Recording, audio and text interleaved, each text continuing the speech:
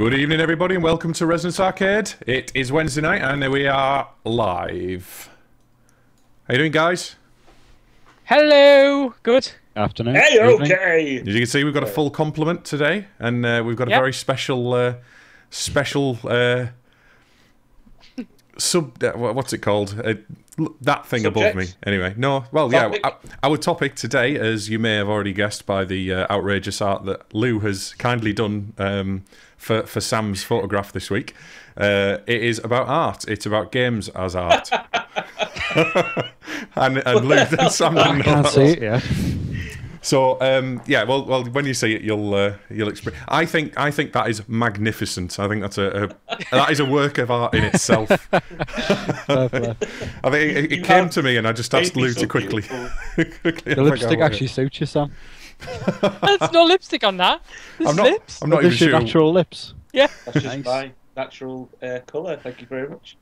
I'm not even sure where the uh, uh, where the photo comes from. I can't. I can't remember which one that is. If I've seen it before. It's, it's just, I just looked for one on his Facebook profile. So yes, today's uh, subject is games as art. It's something that's been talked about since uh, since 1989 or something like that. I, th- I was doing a bit of wiki Wikipedia reading earlier, and uh, it's been it's been a controversial subject for for many many years. And there are lots of people who are high up in the games industry, and also lots of people, you know, lots of gamers that all have different opinions. So again, that's what this show's about: us all arguing and disagreeing with each other and telling each other that we're wrong, and then me basically winning at the end and. Uh, Closing the show down when we've that's how it established that yeah what what I say is correct. That's that is how it works. Fair enough. So to to to kick off then, um, eh, how do we define art? Because this is the this is the main the main problem. That we had the same problem last week. How do you actually define what art is to start off with, and how do you say art games are or are not art?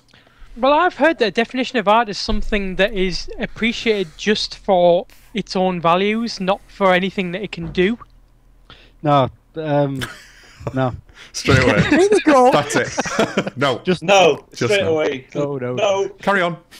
uh, isn't isn't art just an expression of creative skill? Not Um, necessarily skill. put. You, Not you necessarily. By my definition, art is just something that's been made by somebody that elicits some form of an emotional response in the people that observe it or take part in it. By that definition, Sam, yes, games are art. Yeah, But that's everything- the end of the conversation. Yeah. It, Okay, let's But, the then- let's not but then everything is because let's it's get really the actual definition. dictionary No, definition no, of art. this is the problem. Oh, we may have a dictionary diff- definition, maybe, possibly, but I suppose yeah. If we work off a diff- dictionary definition that we have for the other ones, it may the make a bit more expression or application of human creative skill and imagination, typically in a visual form such as painting or sculpture, producing works to be appreciated primarily for their beauty or emotional power. sense. Hmm. All right, that, so that what definition. we've all said, what we've all said is kind of there. Yeah, that's.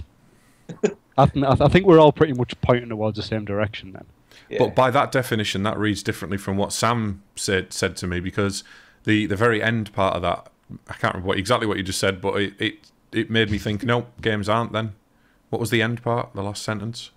Uh, the last sentence was uh, producing works to be appreciated primarily for their beauty or emotional power. Yeah, that, that's kind of similar to what I thought it was, in that you But appreciate just for the the, The first statement is an expression or application of human creative skill and imagination, typically in a visual form. That yes, Yeah. that is that is that's that. I agree. Games would be out under that, but the the qualifying expression says that they have that that their primary objective is to be visually pleasing. Yeah, but that doesn't mean that's something whose secondary um, feature that is beautiful or ev- evokes emotional power cannot be art. There's been a lot of things that have been created that haven't intended to be art that have subsequently became art. Yes, no, you're right there. Yeah. I mean, Architecture, for example, which were built as very functional buildings at the time, just in the style that was accepted, are now classed as art retrospectively. are they actually Well, classed as art uh, by everybody, or are they another one that's hard to define? though? I think with it being such a woolly subject, you're always going to get people that, that disagree with art being art, or even great works of art being great works of art. Some people might say that you know, um, like Monet or something isn't that good an artist. They prefer another artist, but I know they're still qualifying it as art. But there are So is that sorry? Is that really just whatever we classify it to be? Then is it literally a case of if something you said Yeah. this about retrospectively applied art? I if, think- if everyone likes something, I think very much that art is in the eye of the beholder. Hmm. Yeah, I was going to say that phrase. At the risk of going into cliche corner, Yeah, that, that cliche exists for a reason. Beauty is in the eye of the beholder. What I perceive to be beautiful, you guys may not, and vice versa. Well, hmm. I'm I'm not a fan of art in the classical sense personally. I've never really seen much. I mean, I can appreciate that they are you know great works of art because they've been labelled as that, and I can appreciate the skill that goes into it. But I don't personally value that as something. But I still wouldn't deny that it's art. I've, uh, I've I've been around a lot of uh, art galleries across Europe um, because I'm you know quite a cultured chap. um, you know to see like masterworks and what have you, and like the most recent one I was in Belgium and I went to uh, like the masterworks uh, ex- exhibition they had on there, and there's there's a lot of portraitures there. You know, a lot of sculptures of you know people, lords, kings, you know whoever was important at the time. And although you look at the picture and think, well, that's not, you know, that doesn't jump out and evoke emotions, you can appreciate them from a technical level where you actually look and you think, the amount of that that must have taken, the skill in order for someone to do that, you know, without the aid of modern technology, you know, having basically a person sat there and doing it, not being able to work from a photograph or from a picture that you've already created, doing it from memory necessarily.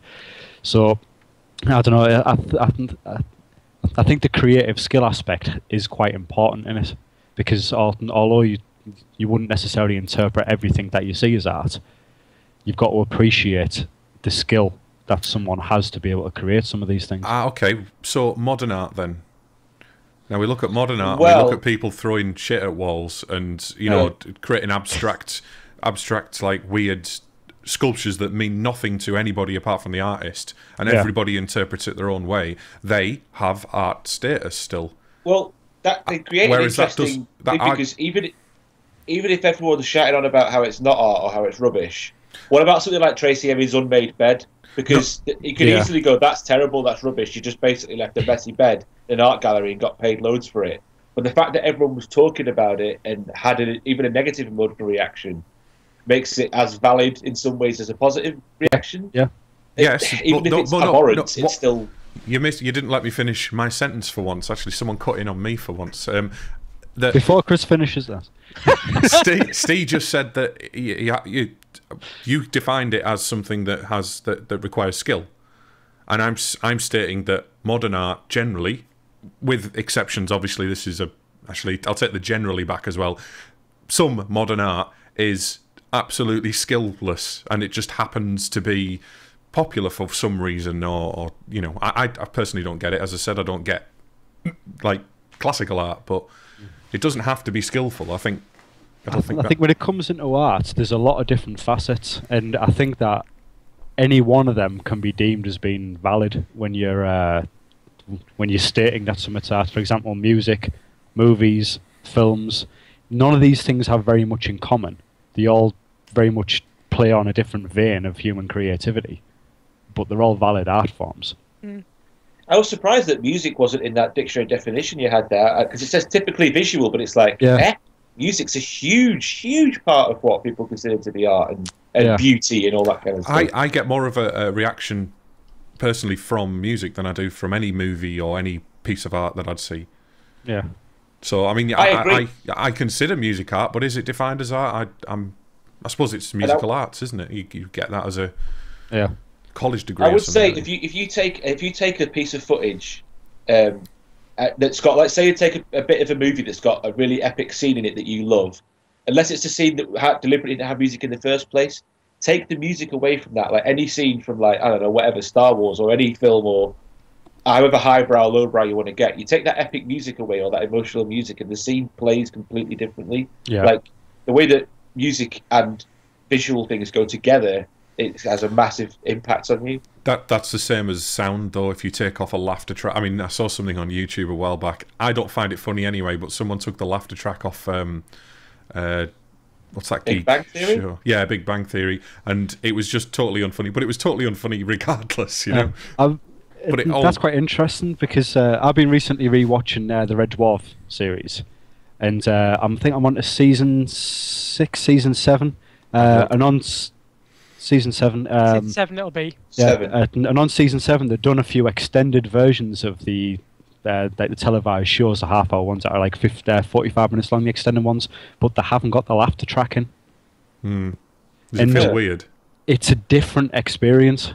Wasn't it completely absent from Series 8, I think it was? There was no laugh track at all in Series 8. I haven't got back up to eight yet. I haven't seen eight in years, so Pretty sure Hmm. that one of the one of the series doesn't have any laughter in it, and it's really weird. It also they've tried to make it look film filmic as well. yeah.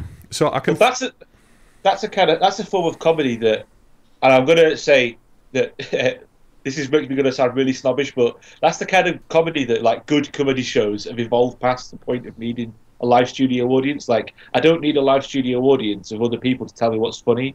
I'm not saying there are some br- absolutely brilliantly amazing comedy shows that did have that laugh audience, but now the kind of shows that have a live studio audience is like Mrs. Brown's Boys, pretty much the lowest of the low. Yeah. So, like a, a modern comedy show stands on its own without everyone laughing to tell you when it's funny, rather than I laugh when I find it funny. So, I think I think Anyway, we can all I think we can all agree then that art as as a definition is subjective essentially, isn't it? Yeah. We Yeah. can't really agree on it and we could spend the entire show talking about what is art. Now, if we focus directly on our games art and why our games art, then I start to struggle a little bit. Not because I, I disagree that games are art. I think there's artistic elements in games. I just think that you don't judge the Mona Lisa like five out of ten, do you? But games, all games get. you know what I mean? You, you, th- That's but- a review, isn't it, surely? yeah, but you don't get that with art. I, I haven't I haven't seen. You do. You get a critique. You don't get, You get obviously cri- yeah, they but rate them like this has got five paintbrush, paintbrushes out of eight. But But, the critique, let me let me. but the critique is not. It's not definitive. Again, it is subjective. Reading a piece of text, yeah, reading a piece of text and then summarizing at the end doesn't doesn't. The text won't read the same to everybody, so everyone will have their own opinion. They would all, if they had to all mark it out of ten from the review that they've just read of that piece of art, they would all mark it differently. The same goes for reviewers, but it is a standard across the games industry. Every game if it becomes popular, you know, popular enough to gain attention, it will have a, a market, you know, a, a market. Yeah, I don't think do I can't think of any other art that the gets same that. with books, and they do the same with music. That's not true of every game. though. That's generalizing quite a lot. I mean, there are certain games which are created to be um, kind of an everyman experience that everyone can enjoy it. It's kind of average. Um, it's it's those games that get ten out of ten in all the crap official um, magazines for cons- consoles and stuff, um, or PC Gamer. But then you get games which are released purely on the basis of them wanting to express something. Games like um like like Ico and things like that. Like what? Sorry. Ico is it? Ico, Um, right, I sorry. know Yeah. Um, Shadow of the the Colossus Journey Ico. was another one. Yeah, Journey's great. and these are games that are not they're not they're not designed to be big sellers. Designed to to be expressions that that also are playable or interactive in some way. So Yeah. the, the, you can't really generalize with games. There are games which are artistic, artistically driven, but there are also games, usually the big AAA titles, which are not, just Then- because it just makes sense to But that's- niche. That's Have a niche classifying them as artistic in in the classical sense of the word, where you know something has got to be, you know, it's got to be created in a certain way, and you know, look a certain. So you That's where it becomes very difficult for me because that that applies to other forms of media as well. Because you've got you've got your your sort of um, you've got your journey on one end of the spectrum, and then you've got like, let's just put it out there because it's easy. Call of Duty on the other, right? But then you've got that in music as well. At one end, you've got like Mozart. At the other end, you've got Lady Gaga. Do you know what I mean? Like you've got cinema, you've got Michael Bay, and then you've got you know Coppola and stuff. So it, like, it, I've got to say that Lady Gaga classes herself as an artist more than a musician.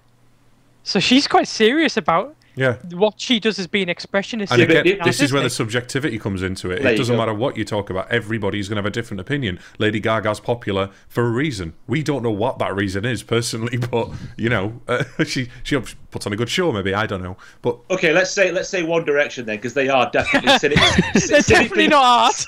They are definitely a cynical boy band put together by probably grumpy old middle-aged men to make little girls wet their pants. So that Yeah. I can legitimately yeah, say. and they did it live on television, money the X Factor. That's, uh, but I, I right, so I, I'm, there were so many things I wanted to say. Then I've all forgot every single one of them. Well, let's break it down. So, a, com- a video game, a computer game, whatever you want to label it, is an expression or application of human creative skill from the off. It's definitely ticked that box. hmm Yeah. Um, it's in a visual form. That I, I don't think that's really necessary because you can have art that isn't in a visual Can form. a, can an individual piece of art be made more, for more than one by more than one person? Yeah. Sort of well, music, I suppose. Yeah, music's often made Yeah. by more than one person, isn't it? Yeah. Okay, go on. Yeah. Um, blah blah blah blah. Appreciated primarily for uh, for their beauty or emotional power.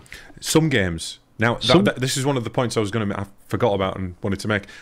Some games are visually beautiful, but they have an end. You know that the, the primary objective is to get to the end of the game. Some games look amazing. They've got brilliant gameplay. You know, they or they've got they could have any combination of them, but they may look absolutely beautiful. But is is the game itself considered art, or is the art in the game considered art?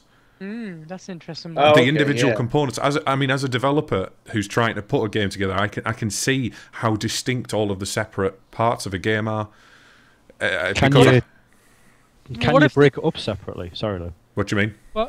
Um, well, can you can you uh, break up the completed product Yes, and say right, Oh. well that bit's art, but that bit isn't. they sell they sell merchandise for games, which you may consider art. Some of it, um, posters are they art for games? And that's not So- a It's game the itself, is it? recreation of something. But well, then you've also say- got then you've also got the music that comes out of a game, an OST, and then that is art because that is music. That's like saying if you get a mug with a Mona Lisa on the front, it's art. we've got a, we've got a mug on a Mona Lisa. Hey, It's a mug.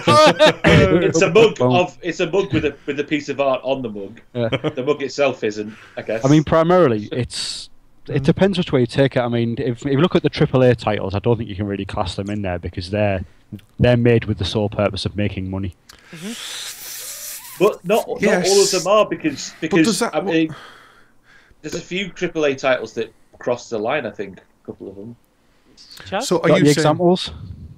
Um, I, I, I, because I've already put it in my top five games and bring it up all the time. The Last of Us is pretty much a AAA game for the PS3 that does cross that line. Like, if you were to say that, say from that same studio, Uncharted is like the Indiana Jones blockbuster. Yeah, Uncharted is like the gritty HBO drama version, like of, of that kind of game, and it does it does have the aesthetics and the as the and the other stuff. and it's got the The emotional power. Yeah, So is it is is is it something that can just tick one of these boxes or one or more of these boxes you can classify as art? I, I don't know because it depends on how, how what you want your art to do for you. Like, is it got to be is it got to be something that really takes your breath away with its beauty? You sort of start crying and going, "Oh God, it's changed my life," or is that is that a ridiculous expectation for a Well, piece of what do people have? do with that? Look at it. They appreciate it. Yeah, Hmm. also it's not just look at it. Yeah. So that's primarily the function of it. So if if you have a book that's considered art- um, a masterpiece, you enjoy reading it. A movie, you enjoy watching it. A picture, you enjoy looking at it. Music, you enjoy listening to it. Is a computer game version of art just something that you can constantly, well, not constantly, but you can go back to regularly and just re-enjoy the experience? I don't know, but just something you said there just made me think. What about individual levels in an individual game? Would I class? I mean, I would class um, something like um, this. This map is God fun as art. I really would. I really would. When you think about it, it's it's art in a very like surreal and it, it's it's expressing Abstract. it's expressing that person who, even if they didn't do it as a joke, which I'm still convinced someone must. It was a three-year-old or someone who was doing it as a joke. You know, Some someone did it as a joke. Yeah. utterly terrible. I mean, it's just hilarious to, to but it, it's still put together. It's with a bit of skill. It's still makes someone, in, you know, I appreciate it and enjoy it. Appreciate some part of it. The fact that it's insane, you know. Sorry, can you just explain what that is? I don't know what so the hell you're talking this, about. we have talked about it before, I think, when we were talking about levels. But this map is god fun. Is um, it's a it's a map. There was a there was a. Do you, do you know somethingawful.com? no. Have you heard of it? Somethingawful.com was a it's a like a satire site, you know, like a uh, eBaum's World type thing. Or, The Onion, but before the Onion. yeah, and uh, and but anyway, there was subsections of the site. One was called Cranky Steves, which was like this guy, this really old cranky guy who used to review maps and just say how terrible they were. But it was mainly Quake and Unreal maps. And one of them was this map is God Fun, and we downloaded it and played it at a few LANs. And it was just basically you spawned in lava, screaming instantly, and then you walk through you walk through another area and you suddenly drop out of the sky. It's just utterly terrible. Really, it's not even designed, but it's still a form of art because this guy's obviously put effort into putting that lava cube there. And in in my eyes, it is anyway. But then you look at something like Qu- Quake 2 DM1. Quake 2 DM1 is not art. You're going to call it art? No, No, I what wouldn't say that's say? art because that is functional. It's to do a particular job, is to have a death match on it. The other, This argument's been I've I've heard this argument not not applied to computer games, but I've heard it before. Whereas art cannot be anything that's functional. I don't get what that is because Hmm. that form and function aren't mutually exclusive. Of course they're not. This It is that thing you said about architecture. Yeah, it it, it was discussed. I think it was um, some conference about uh, car design, and they were saying that a, a car cannot be classed as art because it's a functional item. I don't necessarily agree Gear. with that. Sorry, That was on Top Gear. So, Top Gear done an episode, but this was way before that. All right, okay. I don't Um, think Top Gear would talk about that sort of shit, would they? Did. Would they try and chuck in some sort of a few racist comments as they were talking about it? They were talking about um, talking about uh, what was it? The uh, Alfa Brera, weren't there? Yeah. Uh, said that was art. All right, fair dues. Um, I've lost my train of thought now. Sorry. I've got a feeling Oh, this it was is going about to the happen a lot. fun- functional functional things uh, can't be art. Yeah, I, I, I don't necessarily agree with that uh, because I think that certain buildings, structures, bridges are very, very aesthetically pleasing, and they're just nice to look at without actually using them. Mm. But, But that maybe one- that's that it. fills- Maybe, That fills one of them, though, doesn't it? One of the criteria. maybe that's it. The, the, the, the part of it that you, the part of it that you appreciate just for the sake of it is the artistic part of it. In the same way that if you know, there's there's that there's that dodgy uh, sculpture in the middle of Middlesbrough called Spectra Text. Basically, it's a big silver pillar covered in LEDs. You can text some uh, text it with a random Oh, whatever you want, I love you or whatever, and it changes color depending on what you text it. And that is that is ostensibly classed as a piece of art. I thought you were going to a say the text shows up on it. But the function is just to create a response in you. Can I just ask you, is that thing as unpleasant as it sounds? That you It It is, is yeah, it's it's hideous. You were talking about it Uh, with a little, little bit of endearment in your voice, slightly. uh, No, but the, the thing is, it's right in the middle of Middlesbrough, and it is classed as art. We've got And loads of stuff on the it's prom kind of- here. No, I I, mean, you do, yeah. just horrible structures. They're just blobs in the middle of I think they're great. See, th- th- this is we can. I, I I wouldn't consider that art, but it is art. It's been defined as art. Now, I went thing- to an installation a few years ago um, in the Natural History Museum, I think, uh, in in London, and basically all it was was a wall filled with um, little LED panels, and uh, what it basically done is it just randomly took four letter words from uh, their, just from the internet and just put them on there, which was just Bad random because you, idea. you, you just saw like all sorts of shit and cunt and fucking fish and like you know tree and duck and But and, and everything else. So three. let's Yeah. stop there, right? we know we know words. We, Four but but that was classed as art. Now it hasn't got a function. It wasn't very aesthetically pleasing. It, it was amusing for a, for a time. imagine how difficult um, the authorities find classifying things as art or not. Now, the I, I've the the I read something in that Wikipedia article saying that the um, I know it's Wikipedia, but I, you know, usually it's it's okay to, to agree with some of it. I Um, hold Wikipedia in high regard. Chris. I, I, I do. I mean, I, I, there's a few times I've found mistakes, but we're only human, all of us. Anyway, um, uh, Wik, the, the, that Wikipedia said that the U.S. Supreme Court has has ruled games as a, creative work specifically, and that was many many years ago, uh, in the nineties, I think, and they. Um, that kind of gives it a tax status as well that you know they can get money off things and they can claim and, and the same is applying in the UK as well. Game developers can get tax breaks for things but does that mean that it's art? Does that they haven't classified it as art they've classified it as a creative work which is a broader term for art. Maybe that's where we're getting our definitions mixed up. Maybe that maybe what we're what maybe game is gaming is just a creative work and not art Can I just ask a simple question to, to all of us? Do we all believe that games can be art? Yes, Yeah. I do as well. I think they already are. A, a lot of them already are. It, I I said it. It's entirely is subjective on on what your opinion of Have art is. You, What- well, you've already said that a map in a game you could class as art. Did I But say you, that? I But- suppose yeah, okay. well, you, well, you did. I suppose your problem is that you don't think that the whole package is art. You think Yeah, that there well- are artistic parts of games. But Steve said that as well earlier on. He said that uh, is a game as a whole art.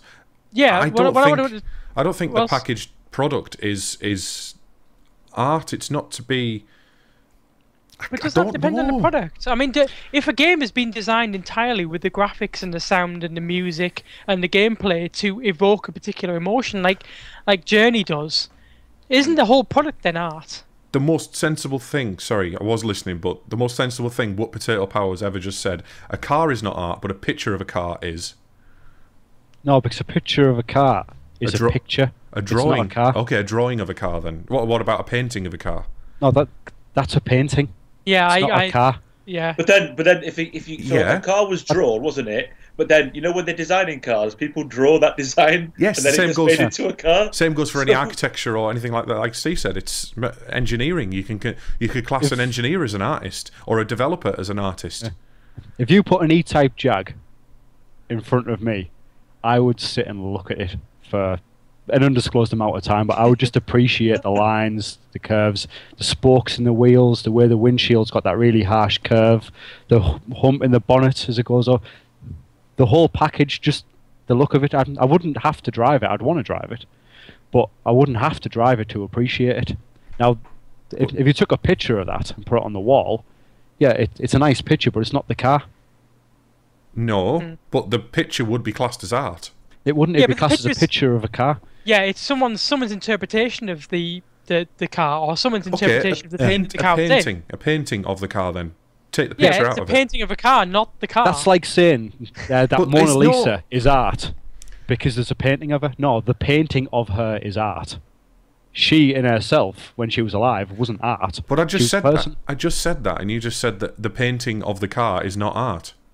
No, No, it's a- it's a paint. No, oh God, but it says uh, we're going to implode our own brains today, aren't we? Sorry, but that's exactly what you just said. It's like a He's painting. got you there. Are paintings art or not? Then uh, yes. does Yeah, does it have to be? is- Does it have to reach a certain regard before it becomes art? the the subject of, of a painting doesn't really matter because if if a if a painting's art, then it's a painting. Whether it's of a car or a tree or a fish, it's a painting. If That- a painting's that is art, the art. so it has to. What's what's that if then? So the pa- paintings No. aren't by default art. No, but what I'm saying is that I would say that a car design, is in a finished product, the car, can be art. What you were saying is that if a car can't be art, a picture of a car can be. I was like, you know, but that's just a picture. I know what Steve's saying. I kind of get it. I think that they both can be. I think the car can be, and so can the picture of the car. Personally, Yeah. Yeah, if the picture's particularly nice.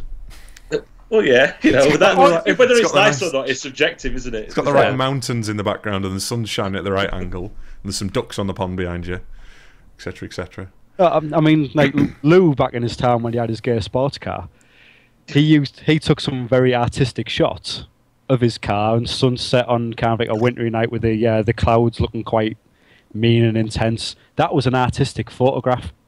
The car in that subject isn't art, but the picture was. But the car was- would be art to the person who Oh. who Not designed it. necessarily. But but but what Steve's saying is that because The concept What- what- artists what- would have would have drawn pictures of the car before it became a car, and that would have been would, but- art. But they would have been doing that so that the engineers could get an idea of what it was going to look like. Whereas what I was doing was trying to represent the a, a feeling to go along with the car. Yeah. And I guess that's the crux of art is that it's about eliciting uh, an emotional response to the thing. But you can't. That's a, that's nearly everything to a human elicits some kind of emotional response. So we can class nearly everything as art. That door behind me might. I might really, Did you really have love particularly that strong colour. feelings for that door? That, I Chris? immediately, I might really love Right. that colour, and I might think that that uh, that door is the most beautiful door I've seen in my entire life, and it's better. It's it's more attractive than the Mona Lisa to me. then that to you is art, isn't it? Then We've just answered our own question, so let's stop going around in circles with it because it, it is. Yeah, it in is the, broad, in the in the broadest possible terms, pretty much any single human endeavour that's ever been endeavoured can be seen as art in some form or other.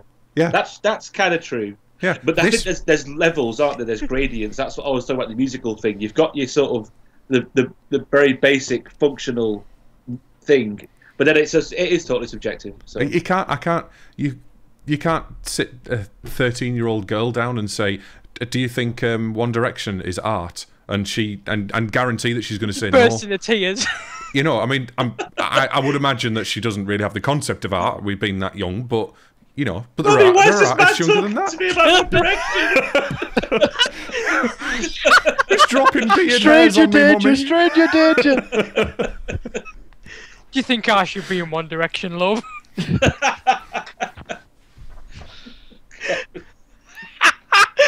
Don't do that, Chris. That's terrifying. It's terrifying to me. I'm not going to sleep tonight. Uh, So, so Um, yes, I think the answer to our question to, to we don't have to talk for the rest of this now is yes. Um, Sure well, there's, there's, there's, there's the other bits of the subject that we've put in the document is the way that video games have had to, one, how they've been recently perceived as art, and it's it's quite a new thing, or for a lot of people, it's quite a new thing, and the fact that gaming as a as an industry or gamers as a sort of subculture have had to sort of fight for that status a little bit, and um, and the sort of things that have gone along with that. Like Chris said, that recent ruling in the United States, because they uh, when they tried to pass some sort of law um, a couple of years ago to do with games. I can't remember what it was called. There was a there was an online petition about it and everything. and I've completely forgot what it Rings bells to me as well, but I can't think what it now. Um, yeah, But no, that that that point of um, the point of uh, what you- I've forgotten. I think we're going to have this whole show of us just going. No, there's so much to think about. I can't think. I can't remember what I just was what I just said. So games. Games are, games are, are given well. Game developers and games are sometimes given grants and things like that from artistic funds as well. Um, Now I didn't put that in the in the thing. I'm sure I'm sure the National Lottery's probably given some money to some game related thing at some point. Um, but they've also given money to many other creative things like making hardware or you know doing um, putting an art installation in, you know, something like that. So you can't always say that they're just giving things to art. So that doesn't classify a game as art either. I I think, think the- one of the. Sorry, go on, Chris. I was going to say, I think, I think to me, it is, it is. I'm gonna, I, I- I agree with everything you guys have said. I've just been playing devil's advocate for the whole thing. I, I basically do think that games can be construed as art, or at least parts of those games can be construed as art. Certain scenes at certain angles are more arty than others, but that is that art. Is that? But then you, you know, it's. Uh, it's it's all about kind of the experience, isn't it? And It it's all yeah. about accepting that you you um, value that in some way. You value that as something that gives you aural or visual pleasure. I think. I think it can kind of it goes it also goes back to the intentions of the designer, doesn't it? Like if you had a really good experience of the game and you felt really moved by it, but it wasn't intended, does that make it art? Yes. that's a bit of an emergent gameplay type thing there. Remember, But uh, I, I disagree seen- with the original uh, original intentions of the artist because there's so much accidental art in the world, as Steve said earlier. You yeah, I class- do. I because Is remember, um, well, there's a couple of examples. One is we've all seen Indie Game the movie, correct? Mhm, I think, and that the guy who designed and made Braid Mhm. um, was talking about how people didn't get his game and didn't get it on the level that he wanted them to, and he was upset about that, and he kind of came off as being a little bit of a tit. Uh, yeah, because it's like, well, people are enjoying the game on their own levels, and this, you know, this is something we talked about last week about once something's been put out there, it isn't the artists anymore; it's the people that that, that appreciate it. It's theirs. It means something to them. The same way that like we want the original Star Wars, we want the whatever. Um, Yeah, there's loads of times, like Chris has obviously put in there that Hideo Kojima doesn't consider games to be art. Now I know everyone can argue about Metal Gear Solid one way or the other, but there's also there's quite a lot of creators that will create something and then just dismiss it, but they've got loads of adoring fans that think it's absolutely amazing, and they just sort of go nah. But so I they- don't think the artist themselves is actually that important. What they create is the person that made it isn't the same way that like you look up the lives of most of your favorite singers, they all end up being bellends. Doesn't matter because the songs they made are fucking awesome. Yeah, I, the person who did it is is very has very little to do with whether it's art or not. In my opinion, there may be an artist, they may be considered an artist, but people have become artists from like not actually intending to become be artists. You know, I agree with that. I, I, I don't think that the, the original artist's interpretation of it uh, should be considered really because it's all about how you interpret it, what your what emotions it evokes in you, your story behind it, how you interpret and then incorporate that into your like emotional makeup. See, for me, that So- doesn't that doesn't count as art anymore. For me, I think art is deliberate. I don't think art is is accidental. If you ever walk around an art gallery, um, and you have the people stood there who, who've obviously researched on the artist and they can explain what it is, uh, what the artist's intent is. But what they always say to you, and I've, I'm not a massive art fan by any measure. I have been to art galleries, uh, but what they always say to you after they tell you what the artist's intention was or what the interpreted art, artist's intention was, was what does it say to you? Art, Yeah, but the point- art is meant to make you think. It's meant to evoke a, a, an emotion. it is, now- but that's that's what I'm saying. It, Our it emotional to do that. makeup is is basically built on the experiences that you've had through your life. So in which case, there's no two people the same. The people that are very similar, but there's no two people that have went through the same life experiences. So no two people can gauge emotions in the same way, have the same reaction to things in the same way. Some people like the color blue. Some people like a sunset. You know, it's it, it's completely down to the individual and your take on it, what it says to you. You know, mm-hmm. I, I can play you Dark Side of the Moon, and it'll put you in a certain mindset and make you feel a certain way and think a certain way. It'll be completely different to me, and it'll be completely different to what Gilmour and Waters and Co. originally meant when they made it. Mm. So I, I don't think that you can really take the uh, the original intention too much to heart. Yes, it's what caused them to feel that way in order to create that in the first place, but that doesn't translate. yeah, I I agree. I I 100% agree with everything you just said. I was just playing some Braid then, and uh, while I was watching it, it just made me think. Did did um, Jonathan Blow actually say that he thought it was art, or did he he say that he had that people just missed the reason for it, I don't remember him even saying it was art, but he was kicking off that people weren't getting it. And people were just Yeah. enjoying it as a game? I remember him watching some or some YouTube videos being shown of some kids playing it and going, "This is crazy! This guy goes backwards and stuff." And and then they showed a very clever clip of Jonathan Blow going, "Well, but some people just didn't get." The intention and it quite upset me, you know that kind of thing. I'm obviously massively That's- paraphrasing. And artists are like typically very stroppy like that. Quite pretentious, isn't it? That Yeah, no, you can't say that because I, I, I, if if you consider games art, I'm an artist. I oh, don't think I'll be stroppy about it. There's artists my out there who are quite willing to let their creation just go into the world and be interpreted. Of There's- course. There's, artists out there who want people to, to, to get a certain thing about it. So, But I intended this, you must think this. This is going back to the thing that I said before about John Carmack and his unintended physics, and mm. he he didn't he didn't want people to appreciate his mistakes. Yet people have, and people are saying, "Oh, you did great work there. That game was brilliant because you can bunny hop and rocket jump." And he was like, "Well, mm, no, uh, they they were genuine programming errors that we made. You shouldn't be appreciating them. We wanted to get rid of them, but you told us not to." You know, if it kind of turns things around a bit when it's like that, when someone's appreciating something that you're not yourself proud of. But that happens in uh, in art as well, in, in classical art, doesn't it? You've got Yeah. you've got artists that make mistakes, and that's what makes that pi- particular picture famous, and that's what makes that particular photo, uh, you know, Well, popular with yeah, people. That's why they the- like the, it. The uh, the Mona Lisa. While we're on on the topic, I mean, the the enigmatic smile in that picture, the kind of weird facial expression, is possibly its most famous attribute.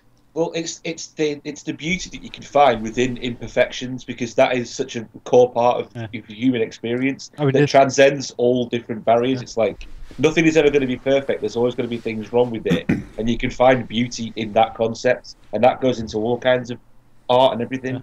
I mean, the thing that, um, that Lew mentioned there about uh, the enigmatic smile, that's one of the, that is the selling feature of the Mona Lisa. And the thing about it is that people always question what she was thinking. So then it, it kind of leads you to, to explore yourself and think, oh well, was she feeling this? Was she feeling this? Why did she have that smile? What was she thinking? And it's the emotional side that it brings out on you again. and the philo- philosophical side as well, because philos- philosophy uh, philosophy tends to get attached to art quite quite regularly. That you know, uh, people every, again, everyone having different views on it. Uh, that that's no exception.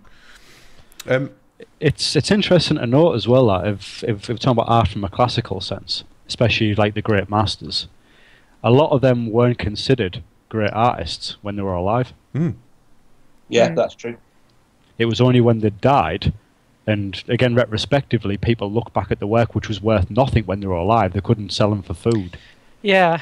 Um, They look was it back and Van, Van, Gogh, Van Gogh sold two pictures and one to his was to his brother, wasn't it? Yeah, In his Yeah. lifetime. and There's a it's- lot of artists like that. I do remember a lot of these. I know a lot of them are very prolific, but a lot of these famous artists haven't actually produced that much either.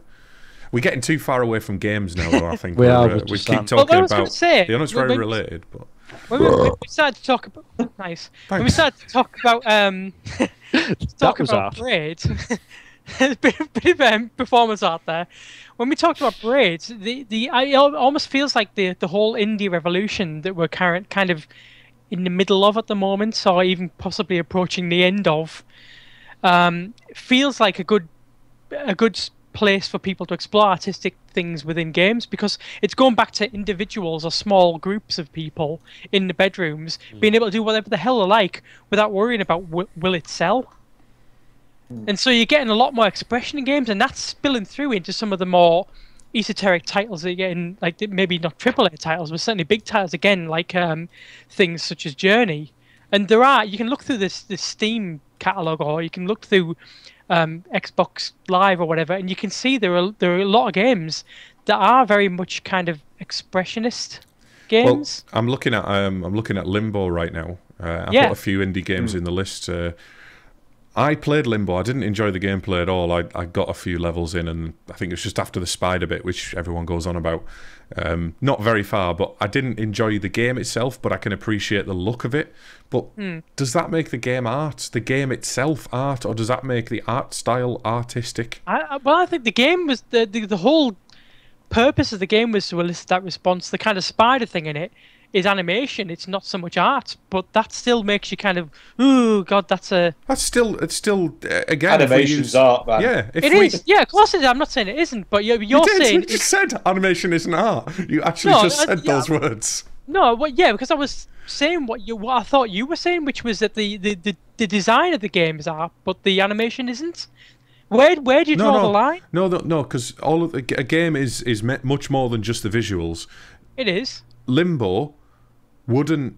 I mean, Limbo wasn't particularly popular in terms of indie games. I know it's it's it's had a lot of press, but it wasn't as popular as some of the other ones. Um, but it's that it looks nice. It looks beautiful, but the whole game itself, if you take the the fact that you you can run around and control the character, the fact that it's got a little bit of a story in it, I'm sure it's got quite a de- in-depth story, but I didn't give it that much of a chance.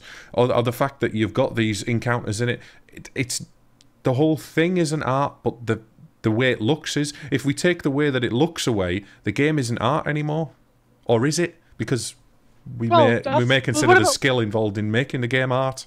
What about games like Thomas Was Alone or um, or the Stanley Parable. Well, I did think Especially about Thomas the Alone because that really doesn't have an artistic style as much as it. Yeah. It's just very minimal in order to get the point across. it, it's got a certain style to it. It's got It it's does, got, but it's that's not it's not a beautiful game, is it? It's a very minimalist game. No, you but can the- appreciate the beauty from a minimal point of view, but the whole point of that game is the the story and the emotion that attaches to nondescript objects. So what about the um, the voice acting in that, which is the arguably the, the best part of the game? Is that art? Well, act- Well, I think the whole game's art. acting, theatre, performance. Yes, of course it is. So difficult. See, stylizing something in an artistic way doesn't make it art. But contrary to what Lew said, things don't have to be beautiful to be art. Look at um, Scream. That isn't by any measure beautiful. Well, no, but it does elicit a response. So I guess Yeah. beauty is the wrong. It, that's one kind of response you get from Again, art. It uh, might be horror, like uh, uh, Bosch's painting. Yeah. I mean, for me, I, I keep coming back to the same point, and that's just uh, eliciting an emotion. I think that's My too wife general. elicits uh, an emotion from me though. No, but it's it's it's Go something. downstairs and call it artistic. You'll impress her at the very least. She c- she could be watching this now, darling. I think you're beautiful, but you're not art. I'm sorry. It's even though you elicit emotions from me, it it's so difficult to define this. You, you That depends on whether you're a creationist or not, doesn't it? Mm. that's a good point. Yeah, you could say the human body's art, couldn't you? Oh my god, I know, everything. innit? Chris, uh, the, the, the thing is, you're you're quick to point out what you think isn't art, but you you you're really struggling to point out what is art. Yeah. Well, so maybe we did a process is- of elimination. art is what is defined to me as art, and I'm thinking classical art. You know, paintings, um, things You that said I you know. don't really appreciate Yeah, them. but you I don't appreciate them, them, but I know that they're art. Yeah, but you're saying they're art just because So that the doesn't public ma- consensus says they're art. What do you class as art? What, what, what? If if you had to have a piece of art on display in your house, what would it be? Something that you enjoyed, something that you liked and you chose personally. Looking around these blank walls. I've got a few bits on the walls, but none of it's art. I mean, I've got nice arty pictures of my cats uh, on a calendar. Um, up there, at the back. That's a pinboard. There's a calendar up there. Um, There's a map of Skyrim there, that- that's sort of art. innit? yeah, well, it, it is art. In case you get lost, Chris. It is art, but it's functional as well. So that I don't know.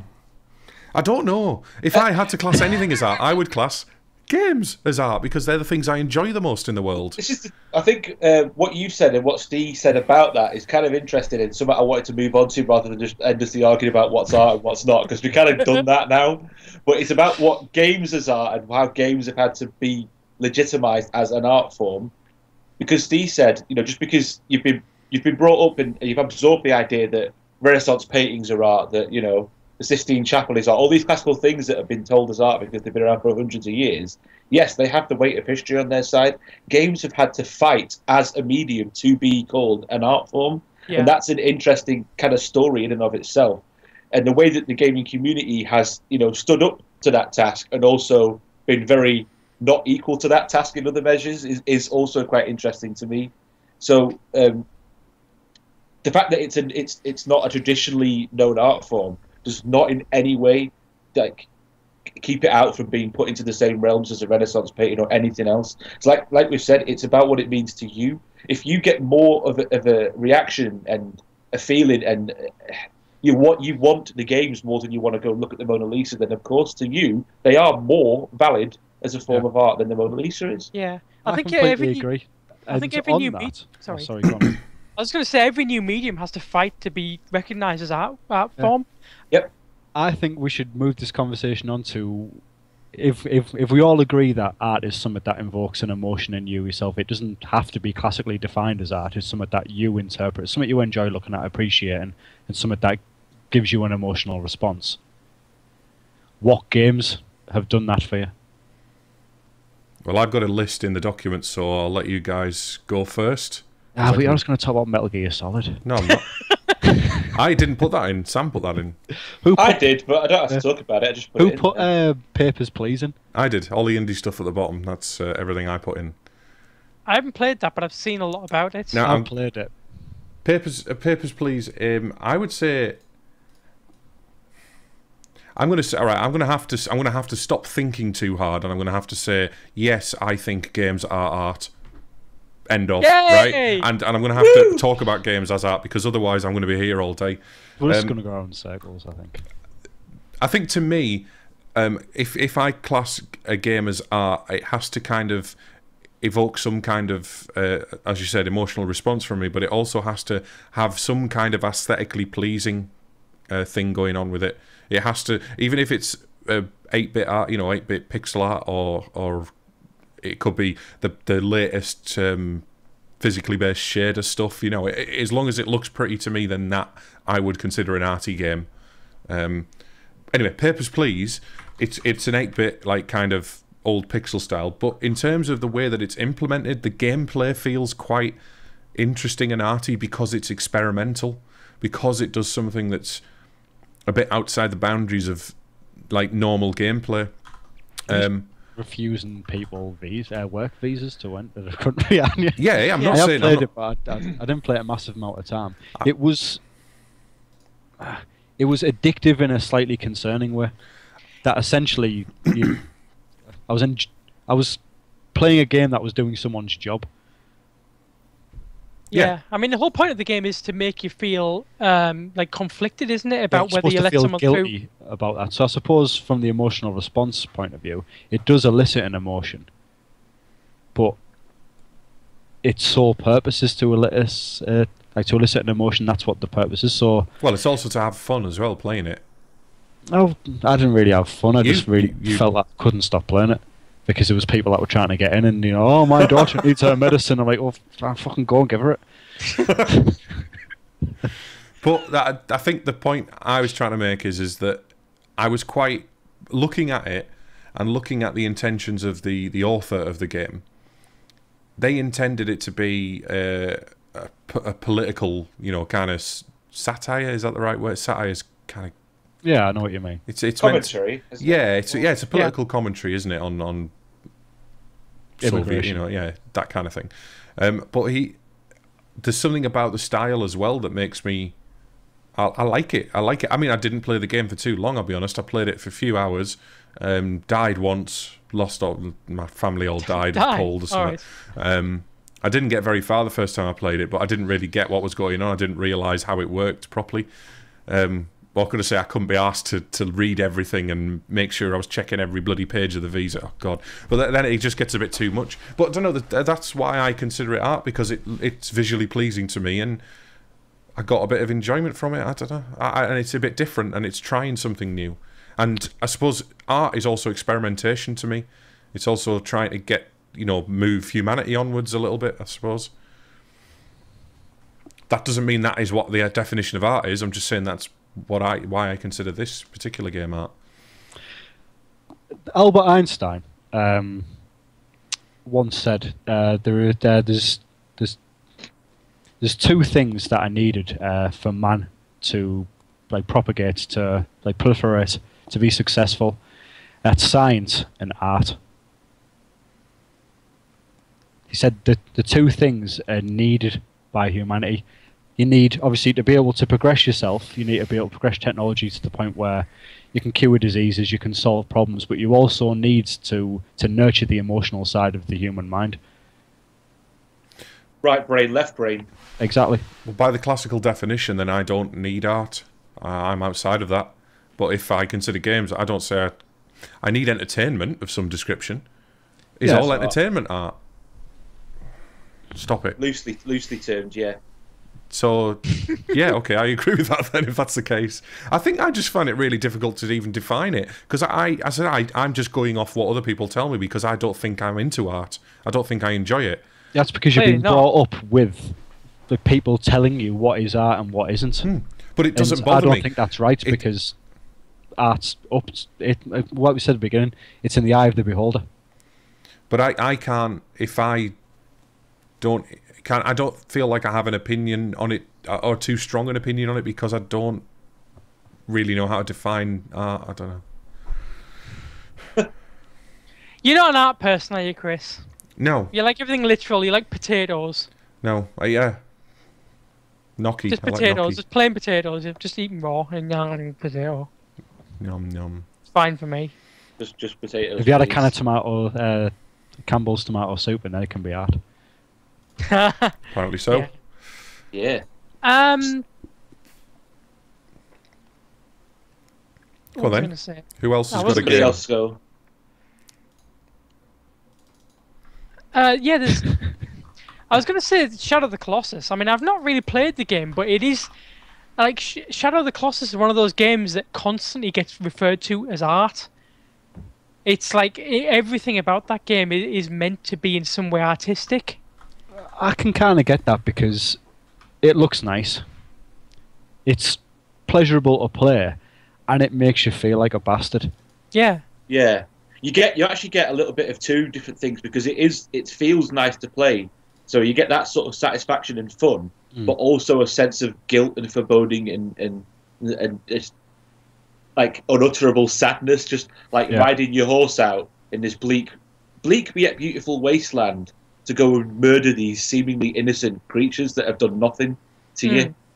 and Um, that consistently gets gets like like I say, it's consistently gets classified as art. And is it almost the game is doing something different to the norm, and that makes it that swings it into the art group because it's not you're not just like some hero who's trying to kill the bad guy. There's something more going on, and even though the gameplay is essentially the same, you are a hero killing bad guys. You're not really the hero, and they're not really the bad guys, and suddenly that makes it art.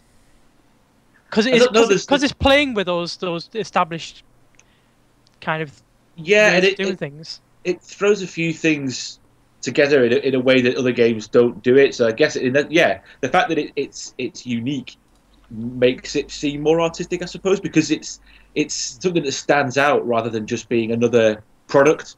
It's not Hmm. it's not just because you got you got games as products. It's just this is a product. You get to the end and you win, and then you buy the sequel. That this is like a it is like an expression of something that the people that made it had a something they wanted to say. Now, obviously, we said that your interpretation is is, your own, but it was made in a different mindset, I think, than a lot of other games. It's and that quite ambiguous, shows- wasn't it? I mean, the actual game doesn't.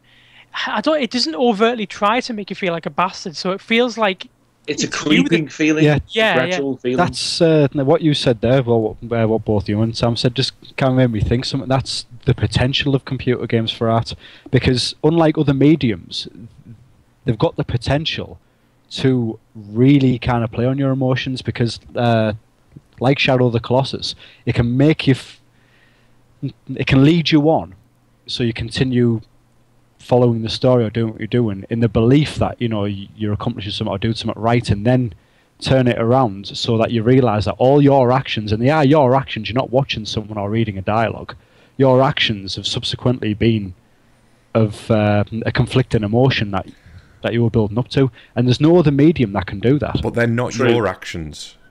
They are your actions Yeah, because you, yeah. you can turn the you game can turn off. the game off. Okay, yes, okay, you can turn the game off, but most games are linear and get to a point. Yeah, but, But most paintings are crap. Yeah, there's there's uh, there's, there's a couple there's a couple of games I can count them on one hand that have also given you that same experience of you doing something in the game which you could stop doing, or you don't. They make you question just doing the things that the objectives that the game gives you. Yeah. Uh, one is Bioshock, the first one, as we all know, a man chooses, a slave obeys. Uh, if anybody's not played that, I probably shouldn't say any more than that, otherwise it's a massive spoiler. And also, um, I've completed it now because I was talking about it ages ago. Spec Ops: The Line had a was a huge part. When I got to the end of that game, there was the whole thing about the, th- the choices that you've made in the game and the way that you you there's certain choices that you can make in the game and certain ones that you can't. But either way, you pushed yourself through the narrative and then have to live with the consequences at the end. And it's as a sort of similar effect to Shadow of the Colossus, where you feel like the bad guy. Mm. Um, like the same when you Yeah. kind of do in Bioshock at a certain point, you feel like you're the bad guy in a way. And you're just like It- I think you've done those unique- things, you've and you've enjoyed killing those people and doing that violence, It's and very then you feel bad about it. It's very different from storytelling, isn't it? And It's, it's, basically different. It, it's not it's not telling you a story that you feel sad for the protagonist or the antagonist or whatever. It's it's a game where you are the person doing those actions, and the game is playing with that. It's it's a very it's very different when you think about it. it, it there, there isn't really that much of a story to um, Shadow of the Colossus, if any story No. really. Very minimal. You, but, but it, it, it You make skews the that story because yourself. because you're making the story, yeah, because you're participating in it, and, and it, it is it's on you. If there was a story, it wouldn't really be on you. It'd be like, all right, the game was telling this story in the first place, but because it's minimal and because it doesn't tell you any of that, because it doesn't prescribe the story, it's all on you. You were the one who did it. Uh, that's quite a cool concept, and and that is it, that has to be art. Would you Yeah. would you Surely. class would you class uh, design as art? Not necessarily game design, but any kind of other design. There is there is an argument. There's, there's an argument, isn't it, that there's, there's design is to to um, sell a product or to to um, to make something more palatable as a product, whereas art is for the sake of the beauty itself, or the, not the beauty, but the, for the sake of the how you feel about the thing. yeah, but so the there's product no- itself would be art, but the marketing material would be design, maybe something like that. Yeah. But that that art does not exist in, in in an idyllic vacuum. It's always tied into the economy that it's created in. Mm. All artists have to make a living. You know what I mean? Unless they do it purely as a side project to their job and make no money for it whatsoever, uh, which is which, is, which people do. You know, most of the artists that we've talked about, it's been something that they've done for a job that they've been paid to do as well. So Mm. commercialism and art have always gone hand in hand. The same way that the, the great artists were commissioned back in the day by the Christian church to do things that they wanted to do, and they, you know, the Sistine Chapel was commissioned by you know the church, and so on and so forth. So they've always gone hand in hand, one way or another. Is that because so the the technical skill that's involved in art um, is something that isn't very easily learned, and you have to put a lot of time into. So a great artist, unless obviously they were born with just a great natural skill, which some artists are, you know, like some Mozart and what have you. Um, but, but because this skill's got to be learned and honed, then you you've, you've got to do it full time. Well, I would consider myself an artist in terms of my professional job then, because I have to hone and develop my skills until I get it to I- a point where I, I- can design a system. I don't think you can because then you can class me as an artist, and I'm not. If a Yeah, someone else appreciates that my database design is the best database design they've ever seen in their life, and they, they love the fact that my indexes are all perfect and all of my all of my constraints are, are right, and no one else has ever done that before, then surely that could be considered art. Then No, I No, think that's because if. I I develop a new solving a problem. with, uh, you know, a, a new internal combustion system that's massively more efficient, that's not art. That's just doing your job efficiently. Yeah, I think that when when you're doing stuff like that, that's stuff that really should be not seen. People shouldn't have to think about the fact that you've designed a really good database. It should just work, and they should it should just be fast and work, and and not be any problems with it. And that's the difference is that when you're kind of doing those kind of engineering jobs or programming or whatever, you're solving problems to make it so that people don't encounter problems. Mm. You're not solving Uh, problems so that people can appreciate those problems that you've solved or the way that you solve the problems. It's a different thing entirely. I There is- there is some crossover. they are. I think that, that I think that Chris is right. You can and uh, you can apply the- you can apply an artistic value to those kind of things if if it's if someone appreciates it in a certain manner, even if it is just for its efficiency and that it's impressive or I don't know whatever, it still falls into sort of that category. It's not you know it isn't the Mona Lisa. It's something different. But I, I wouldn't I wouldn't be impressed if a, s- a s- you know if a, an artist or a great artist was considered in higher regard than than the best database designer in the world. Because it, I'm it's sure just- by some people they are. Yeah no but I you think by some people they're not. Well, that's what I'm saying. Is again, it's a subjective thing, isn't it? It's the fact that there may be. There's a, the, I, I- the, there was an example uh, a few weeks back, a, a data, in fact, about databases, where someone at work admired something I did, and I was like, "That's nice. It's Yeah. nice to get that," but I didn't do it to Yeah, create. it's professional admiration though. That's not art.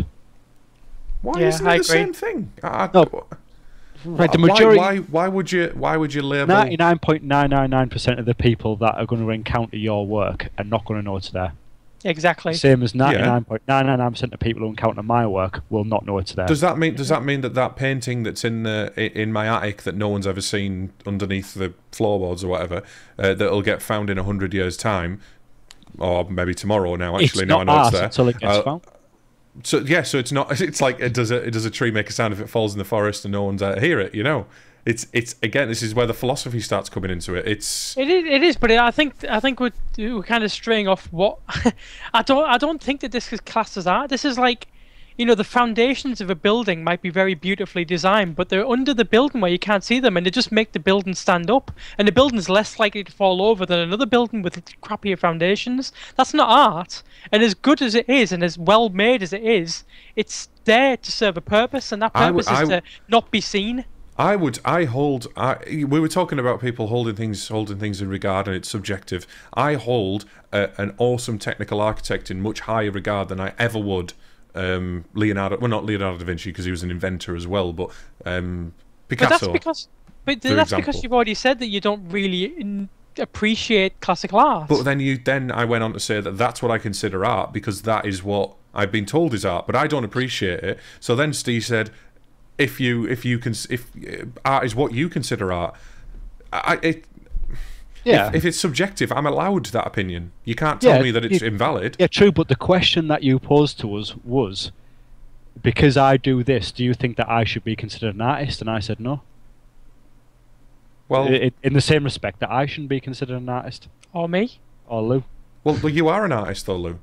Yeah, well, I do artistic things, but what I do for a living is not artistic. I design, well, I create No, websites. but you have done artistic things for a living before. When I you when, have. when you when you worked for me, you were creating websites and you were creating very nice looking I websites. would class that as design, not so much as Yeah. art, though. but the, what, That's look, design. That was, was do art to serve a purpose. there was and one that's purpose particular there was one particular client, and obviously do not mention their name, uh, that we did a number of designs for. Some of them Vagisil. were sorry. Vagisil. It was Vagisil, yes.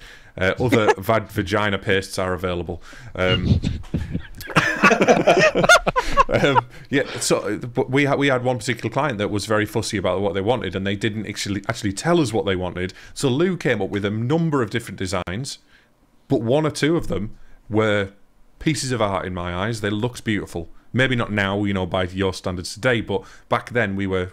It was. It, it looked very nice, and we were also given those kind of comments from other people. That's know, more of an art piece than a and I do still have those things, but I, I still would not class them as art. I would class them as good pieces of design, but not as art. And I think there is a distinction to be drawn here, and we, we've had this conversation at work about whether branding is art, and it can cross over. You know, you get this the, the Coca-Cola logo, which now is regarded by many as a piece of art, but it's not. It's a it's a logo that someone was paid thirty dollars for or something.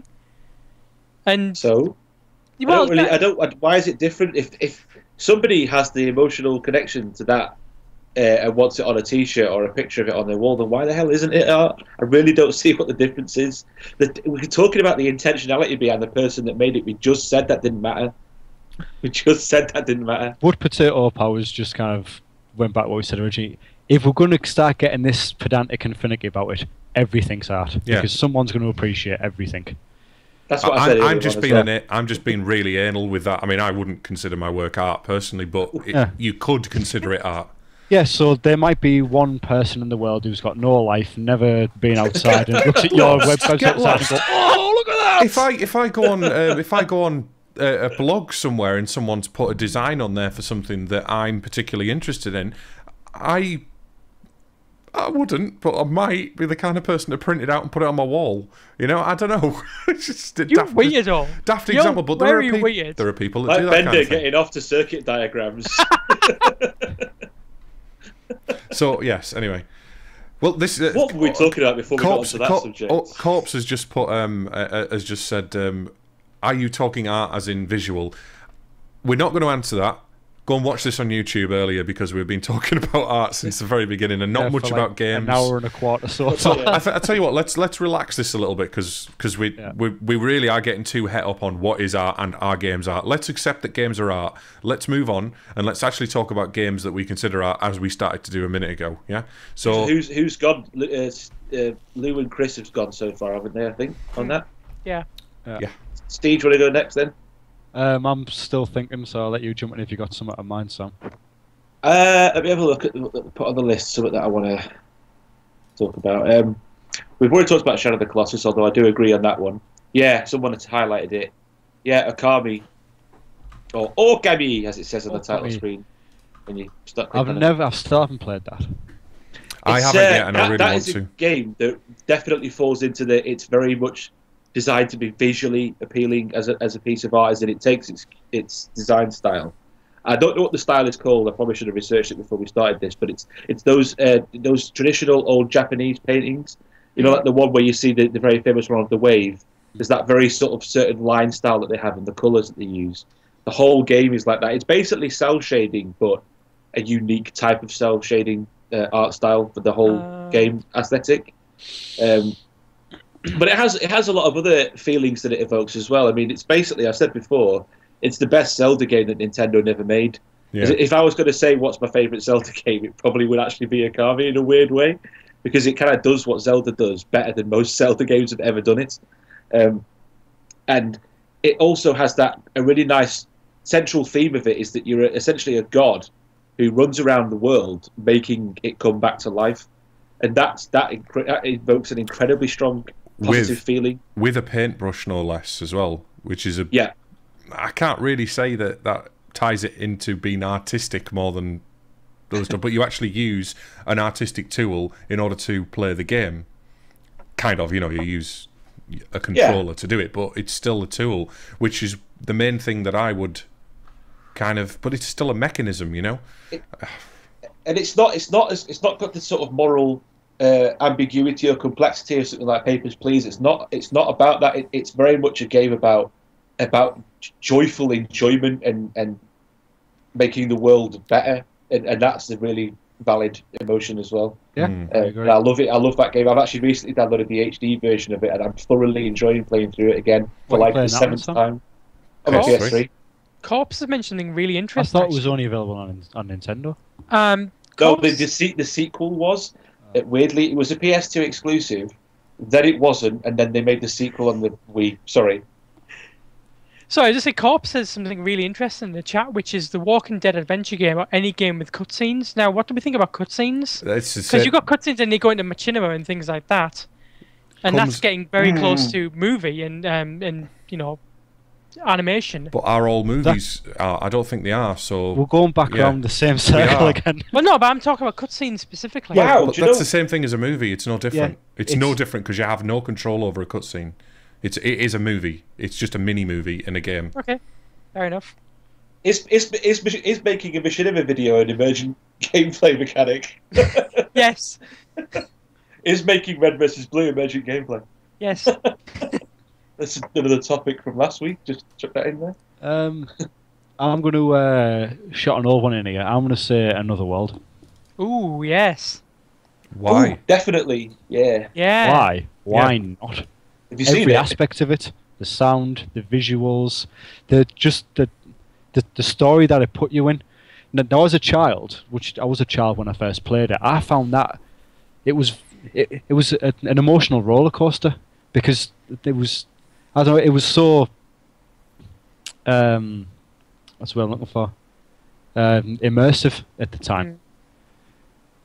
and the the styling of it and there, there was no dialogue in the whole thing. There apart is. This, from, isn't there? I isn't there that, yeah, that, that weird guy. yeah. Well, but again, um, you, you, you kind of felt for him, him because he kind of sacrifices himself for you in the game to allow you to escape. Sorry if I've ruined that for anyone, by the way. I, I Isn't he have alright? played it years ago. Isn't he all right at the end of the game though? Um, it's kind of. I, I don't think you actually find out. No, Is no, it? no, Double you're not. spoiler. No, yeah, you go into the Colosseum at, at the end, and he he then sacrificed himself, so you've got a chance to escape before the missiles coming at you. Oh, Yeah, Poor, nice poor- Ruba. But why? Why Um, specifically? wh- Why? Why did you choose that? Because to me, I mean, back in the day, it looked pretty impressive because it was stylized, but the the visual aspect of it isn't that. I arty. chose that because I look back at it now and I'm looking at a picture of it now and I still think that's beautiful. Hmm. Yeah, exactly. Okay. And it To still him is. evokes the same emotions in me. I love the world that they've created there. I, I love the rock formations. You know, the way the stalactites hang down, the, the big beastie black creature that runs around, the whole thing. Extending on from there, I'm going to bang in Shadow of the Beast 2 as well. Yeah. Yeah. Shadow of the Beast. I've heard. I know that that name sounds familiar. Shadow of the Beast was an epic game. If you got not great, not a great that, game though, is not, it? not a great game, but it, it really set the scene. It was uh, it was well again. It just evoked quite a lot of emotions in me from the uh, from the opening cutscene as well. I know we've just discussed cutscenes, the music, um, and it was a very very very very bleak story. As was the first Shadow of the Beast, actually. interesting art tie-in as well as the cover for the original Shadow of the Beast. I don't know if two or three or anything were done by him, but uh, Roger Dean did the cover, uh, a well-recognized artist. Um, he designed all of the kind of backgrounds and stuff for it as well. I believe. I love those kind of those big spires of rocks. Mm. Is Sha- is Shadow of the Beast the one where you can turn into a number of different animals, like a werewolf and a? No, that's Altered Beast. That's Altered the Yeah, beats, it's yeah. I'm That's a looking. I'm completely- looking at Shadow of the Beast now, and I hope hopefully I've got the right video on. But Shadow of the Beast two, Amiga. That looks like it. Yeah, yeah, that's it. Yeah. Oh, well, it's, it's at the stream. Yes, that's Shadow of the Beast. So the actual game itself uh, doesn't look all that great, but if you watch the intro, I think actually Shadow of the Beast one looks better than the second one. Yeah. Um, is, yeah. but the music's good, and just it was a really really bleak story. Um, and there's uh, there's a lot of bits in it, like um, depends what's going to come up or not. But uh, there's like I don't know the representations of what and they weren't humans because obviously they're massive, but just the positions that they're in there. Do you know? Um, oh, I forget what it's called now. What's that? Um, that sculpture where the guys stood with the Atlas. well, yeah, um, the Uh, Atlas. There's a, a a person like that in it's where he's pushing this huge block and he's just going ever so slowly, a grunting away and that, and it just um, they're the things that pop back in my mind when I think about it, and the emotions pop back into my head as well when But I'm. this is nostalgia, though, isn't it? Surely this isn't. Not really, because it was it was it was really affecting at the time. I remember seeing the intro to Shadow of the Beast 2 and being shit out of me. disturbed disturbed by it. Yeah, it was scary. And whether it's because I'd never seen that in a game before, or and so that does kind of in turn become nostalgia, or whether it was just because it was so scary and affecting. I think a lot of Amiga games had that weird sort of slightly bleakness to 'em. yeah, like kind of grown up, uncomfortable, disturbing nature to them. And I'm- I'm th- still- that was that. That's that is a valid um, artistic uh, kind of response, really, isn't it? Again, going back to kind of Hieronymus, Hieronymus Bosch paintings and things like that, or Yeah. uh, Picasso's stuff like Guernica and things. They're kind of slightly horror and disturbing. I'm a big fan of um, surrealist art, dreamlike stuff. Um, Oh, and- like um, uh, Escher and uh, um, yeah, Escher, uh, Dali, and um, my favorite is a, uh, a Polish guy called Jacek Yerka. Um, and a lot of games around this that kind of 80s had a similar kind of feel to them. And the, the because the the graphics were kind of necessarily simplistic, they almost fit into that surrealist look. Like things weren't quite laid out in perspective and stuff like that. Hmm. So there's a lot of games from back then that kind of do elicit that same response I get from looking at pieces of uh, of surrealist art. I'm just watching the intro on my own now. What's Shadow of the Beast 2? Well, I think I need to see the hear the sound. Yeah, you You need do. to hear the sound. Um, You're, you're pulling a very weird face though. while you were talking, well, I'm I'm not sure I agree with. I, I don't know. I, I can't see. I can't see art in that. Yeah, you Uh, can't, but I can. yeah, yeah. yeah, exactly. Yeah. I Uh, mean, I, can- I can see art in Green Hill Zone on Sonic for the Mega Drive. I, I think it's just appreciation with me. I, I, am never Yeah, going to that's call what art any, is. It's but I'm never going to call anything art ever again because I don't think the term actually exists. I, I don't believe that art. Ex- I do not believe in art. Chris is going around to scribbling all of your dictionaries now. Yeah. But I Not mean, art.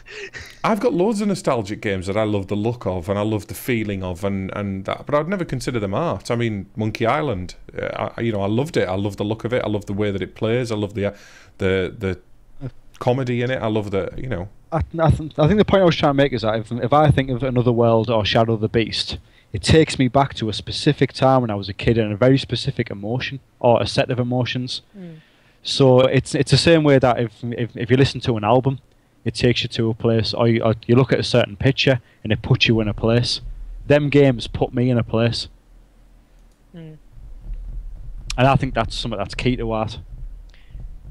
Yeah, I is that, agree. is that is that an atmosphere thing? Is it, is it games that are atmospheric of uh, No, because like Dead Space is atmospheric, but I so wouldn't when class some, that as art. when someone goes to see the Mona Lisa, then how does anybody in this day and age get put in some kind of nostalgic trance or whatever? You know what?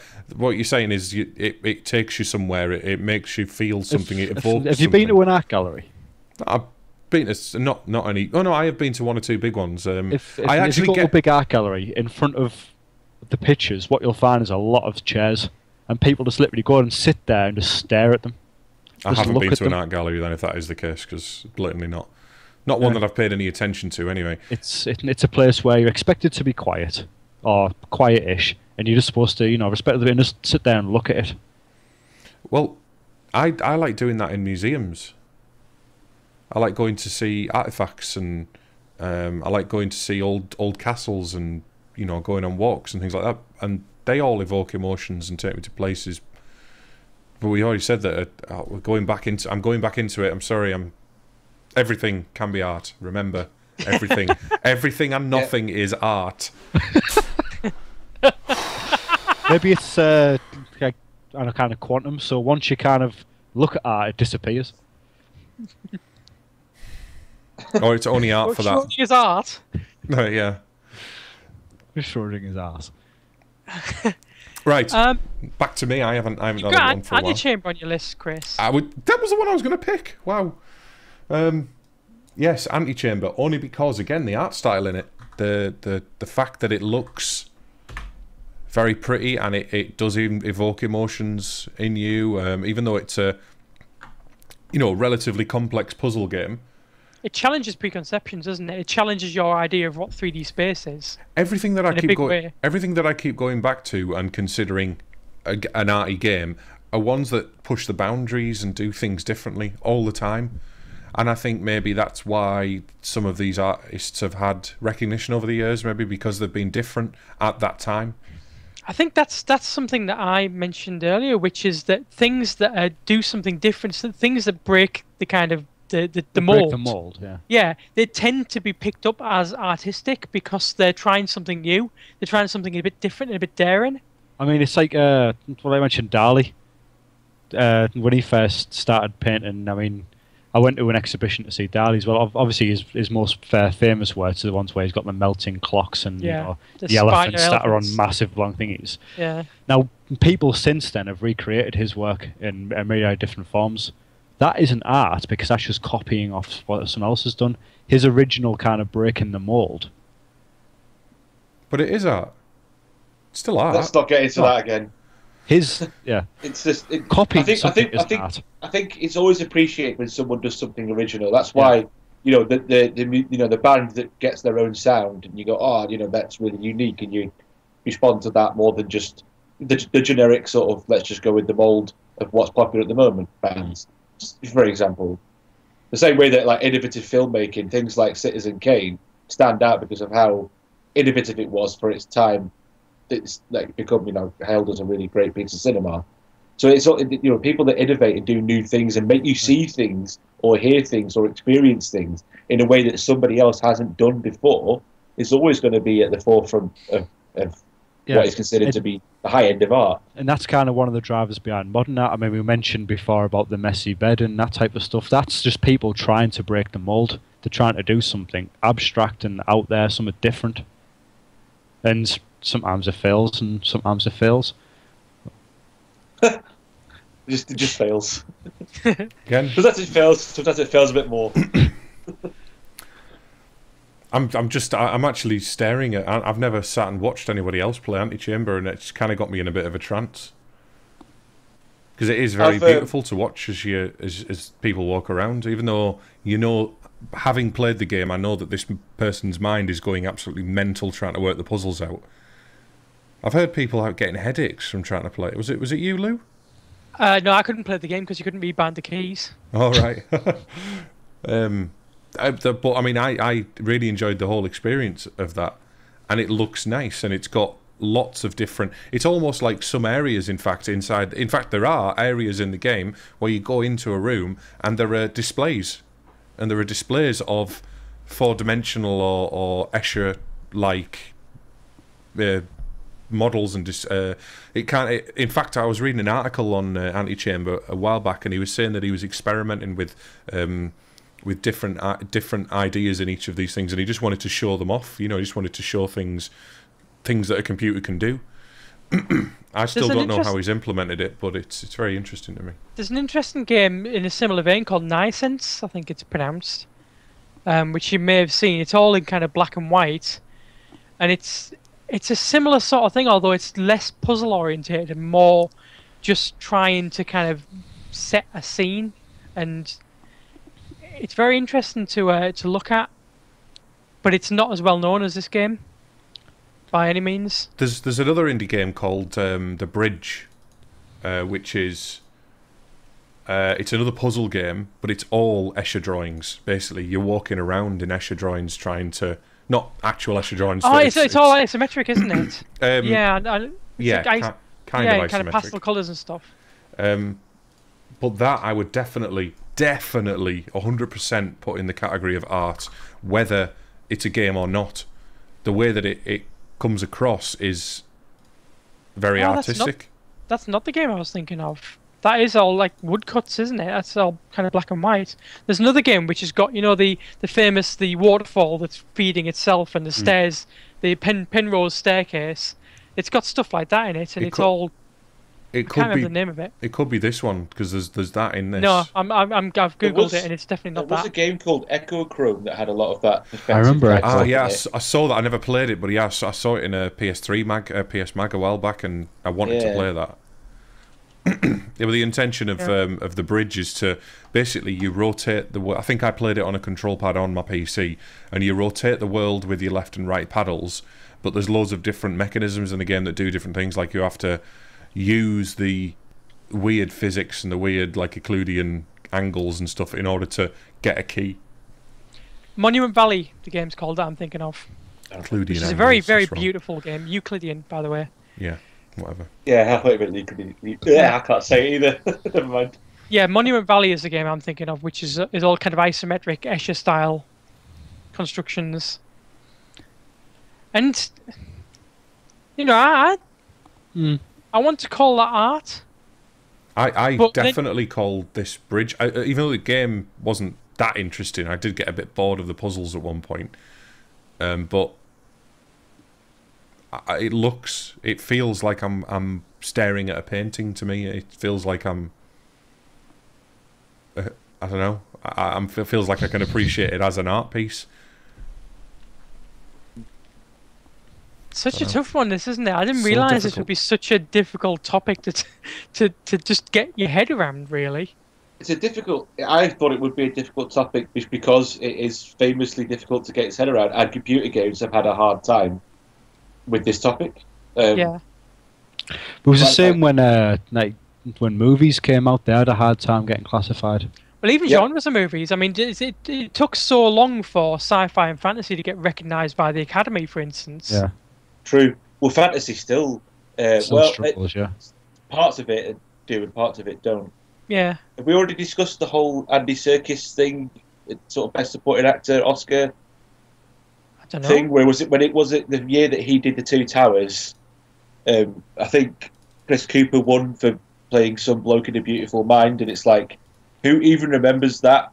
Whereas the combination of Andy Serkis. and yes, the animation team made one of the most memorable characters ever put to film, Mm. but he wasn't even nominated. Do you know that kind of thing? Is a bit, Yeah. But that's that's more mocap, I guess, than and, and again another subject entirely. But um, yeah, cinema had to fight for it. But I think it's just about putting the document.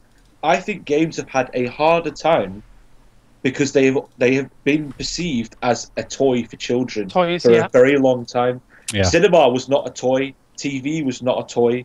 It was it was a, a thing, a new thing that was always aimed at adults. Like cinema was for. Well, I don't know if it was aimed at adults squarely, but it was aimed at adults as well as children, should we say? Whereas toys were all have been very long time perceived to be something that is aimed squarely at children. They're toys, they're electronic toys, or that is how a lot of people see them. Now, the generation that sees them that way are probably kind of on their way out now. yeah, they're going to die. Yeah, they, they will die, and you know, as we all will.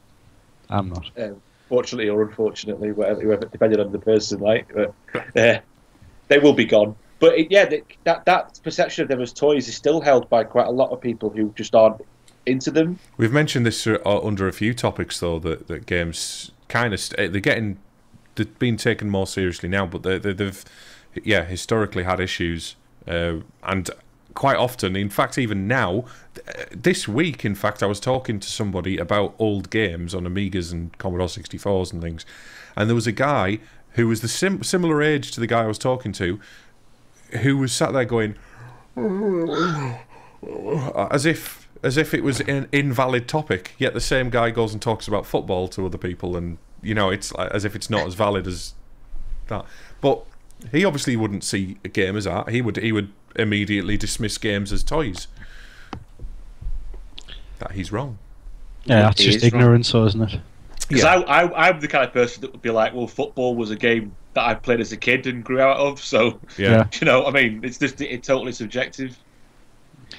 There's there's a game back from 1984 that was released um, called Deus Ex Machina, which was a lot of people would class that as one of the first, if if not the first, um, art games. Uh, I'm just reading the Wikipedia article about it here. I've actually just bought a book recently, which is uh, talks about it as well. What But book? it's um, it's uh, I can't remember. It's, it's Speculation. Uh, like 50 Spectrum games covered, but it had like a synchronized soundtrack to go with the game and everything. You played the tape during the game, and it played uh, voiceovers for the game and stuff.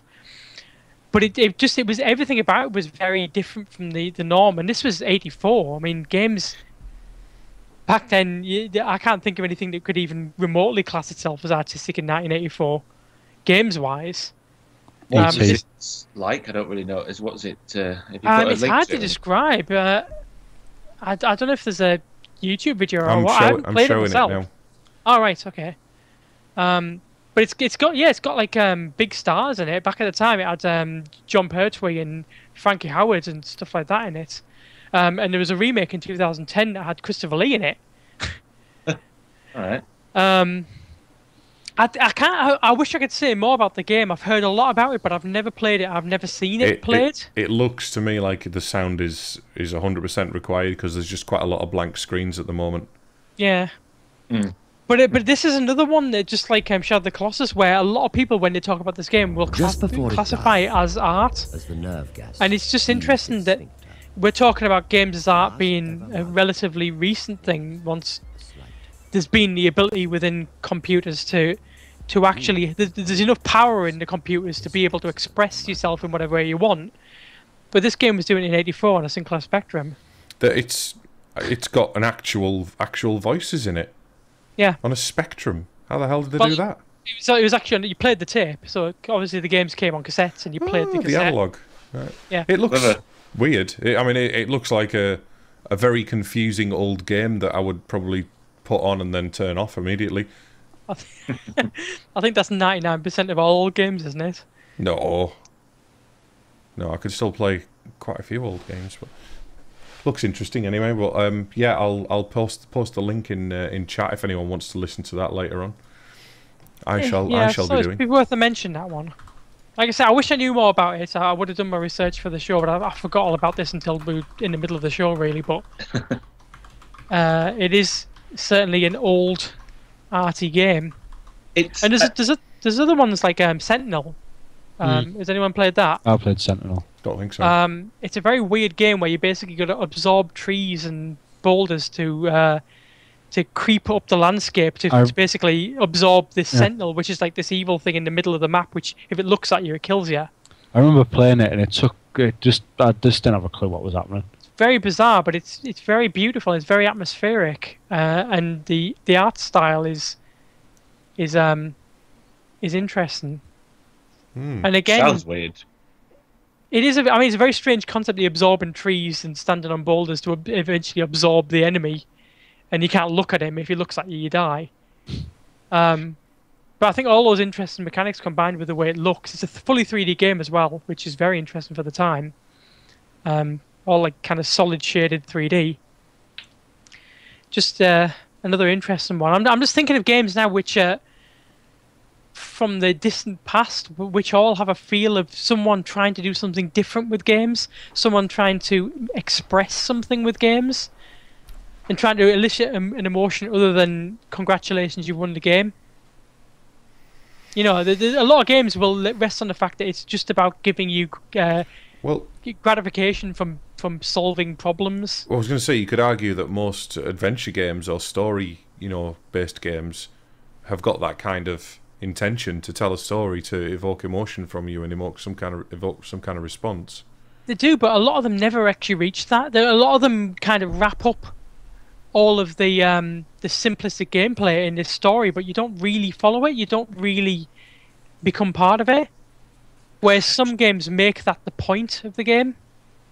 it, that uh, sort of leads into an interesting point that I've just remembered, um, and I think it, the comedian Dara Ó Briain did just done a little routine about this, about computer games, about not being able to get past a certain point in um, a Gears of War game.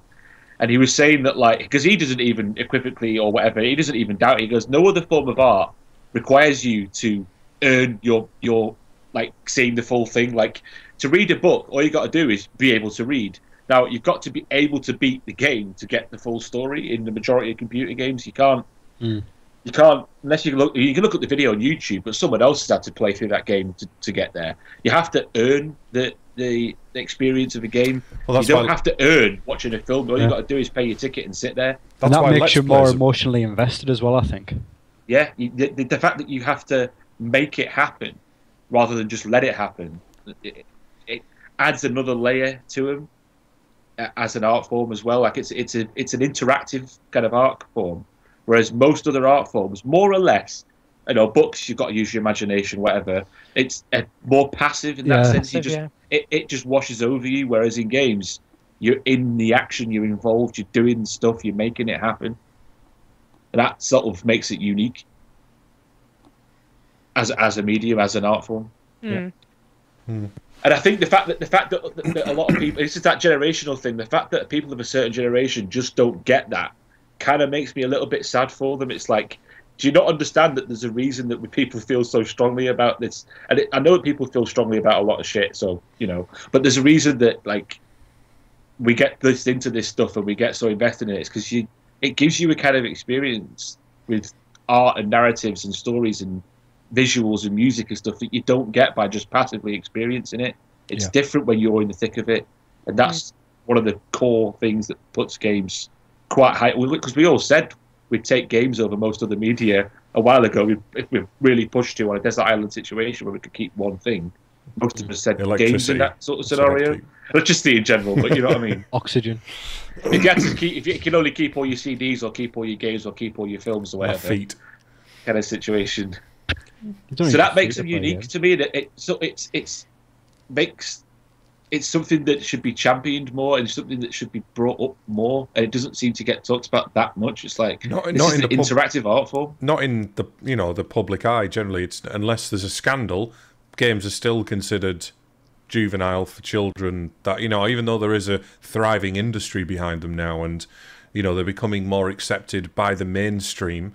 That mainstream is still quite a young mainstream, and the people that output most of the uh, media coverage, I suppose, is pr- probably a little bit older and probably don't take them as seriously. Well, you, I mean, this we've talked about this before, but every new every new art form, every new medium has to run the gauntlet of first of all being for kids, and then being affecting kids, and then being a menace to society, and then eventually being accepted. And that's books, that's radio, that's movies, that's TV, that's games. That that's just any new uh, media form.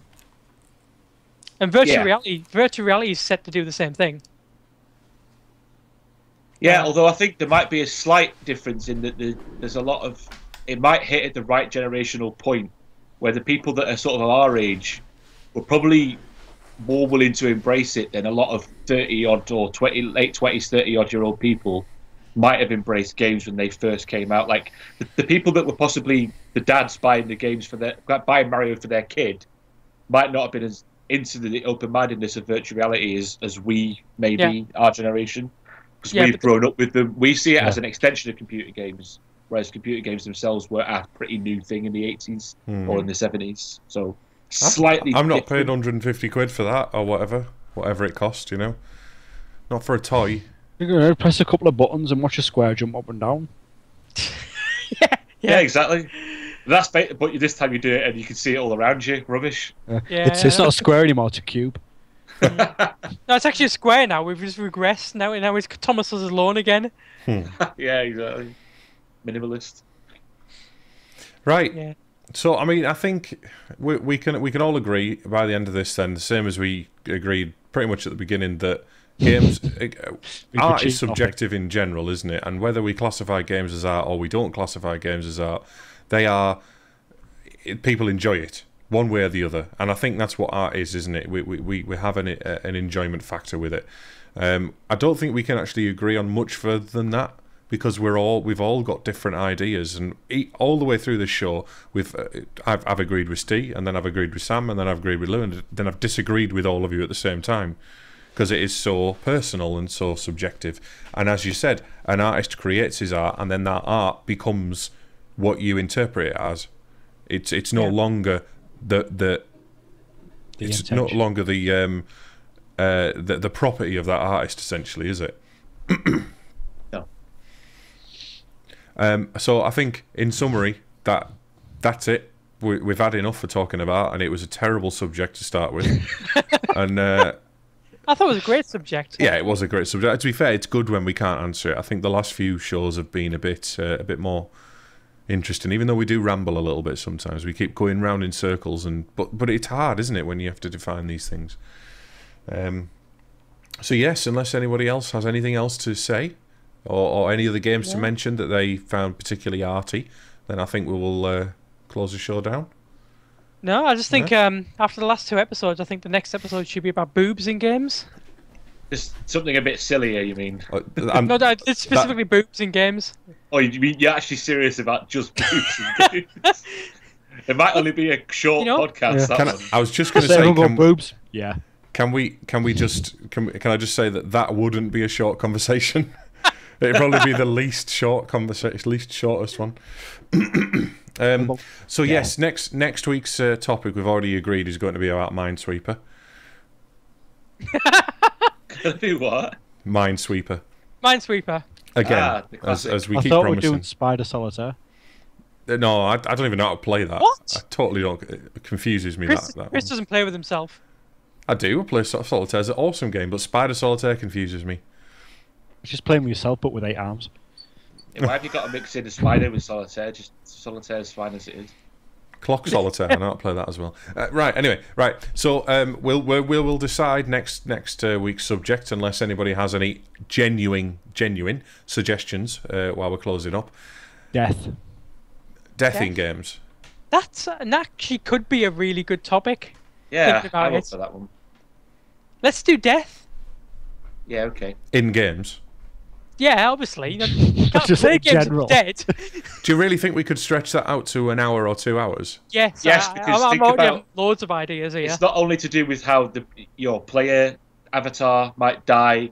Hmm. Uh, is that deliberate? There's all that kind of stuff. There's also the people, the characters that die in games, how it's handled, the attitude towards death, how we have to respawning, punish it. not respawning, continues, arcades. Yeah, it's got the hell, mate. mechanics, the So artistic many- side, the story Yeah. side. There's a lot Death. to talk about there. It's a big subject. Death. As it as it is in real life, it's quite a big subject. I'm All for it. right. Well, then next week's subject is death in games, Death. Um, and we'll be back next Wednesday at seven thirty. Uh, go and check our YouTube channel out forward slash Resonance Arcade, and obviously you know what the Twitch channel is. Um, we're also on Facebook and Twitter, and uh, get subscribed and that if you haven't already, because we uh, we like you, we like people watching. And uh, thanks to everyone watching. We've had a, a fair few people in today, and uh, we'll catch you next week. See you later. See you Bye later. bye.